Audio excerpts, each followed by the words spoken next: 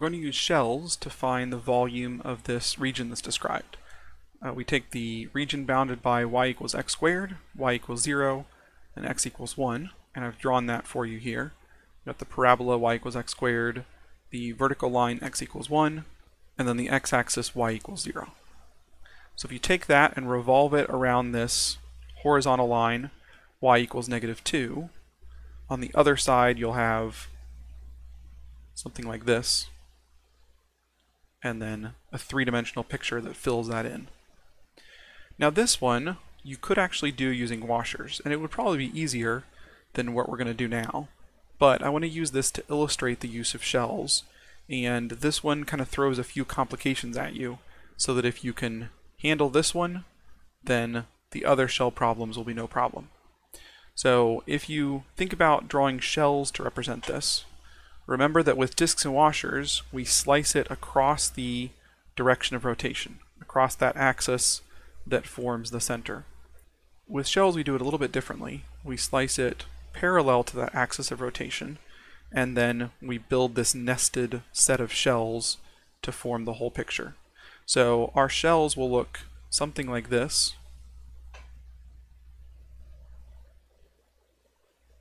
Placed on the side here. And they're rotated around this horizontal line. So the dimensions of this shell, the thickness first of all, will be a delta y because it's a vertical distance from the inside to the outside. The radius will be using y values as well, and we'll get to that in just a second. And then the height, quote unquote, this distance, uh, the length of the shell, which we'll still call the height just to be consistent, will also depend on y. So all of these depend on y, and we have to do a little bit of work to figure out exactly what each of those values will be. First, we need to rewrite these functions as functions of y. Specifically, the parabola is the one we need to worry about. So like we've done before, instead of y equals x squared, we'll write that as x equals the square root of y. Because everything's going to be functions of y, that's important to do. Now let's start with the height.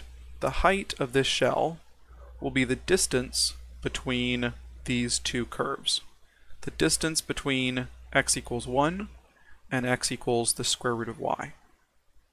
So if we want to calculate that height, we just need to subtract 1 minus the square root of y.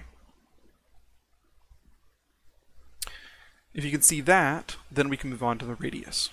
But that may not be obvious, and you may need to go back and check that again and make sure that you can calculate that height appropriately. Notice the order in which I subtracted them. I did 1 minus the square root of y because 1 is the larger of the two functions because it's further to the right on the region we're interested in. The square root of y is further to the left, so we did kind of like upper minus lower, but in this case the right one minus the left one, larger minus smaller. So that's the height, the difference between the right edge and the left edge. The right edge is just a constant 1, the left edge is defined by that function, the square root of y.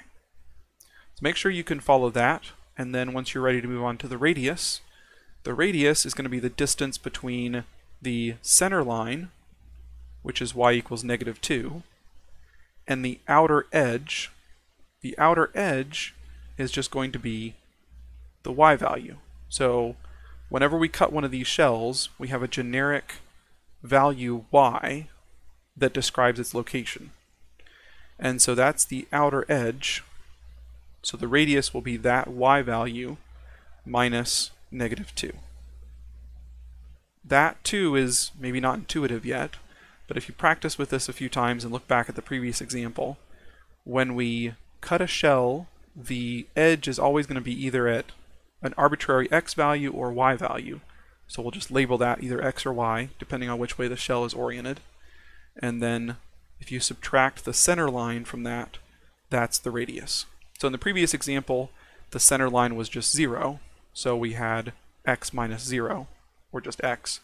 In this case, we have y minus negative 2, or we can write it as y plus 2. So with a shell problem, The hard part is always getting those pieces figured out. If you can figure out the radius and you can figure out the height, you're pretty much done. Uh, but that's the tricky part. So if you need to go over this a few times, you can pause and go back and make sure that those pieces make sense to you. But once you're ready to move forward, the volume for shells is just the integral of 2 pi rh. And of course, with the appropriate limits of integration. In this case, we're doing things with a delta y, so we have dy in the integral. We can pull out 2 pi, and then the radius is y plus 2, and h is 1 minus the square root of y. Now, for limits of integration, we need to look for the y values at the inner and outer edges of this object. In other words, what's the y value at the inside of this rotated object? What's the y value at the outer edge? It should be clear that it starts when y equals 0. And when it finishes, you're up here at the intersection of x squared and 1. So that would be where y equals 1, because where x equals 1 and y equals x squared, the intersection is at the point 1, 1. So the limits of integration are from 0 to 1. Now to carry out this integral, you can expand out this binomial. So you have y plus 2 times 1 minus the square root of y. So that would be y plus 2 minus y times the square root of y minus 2 times the square root of y.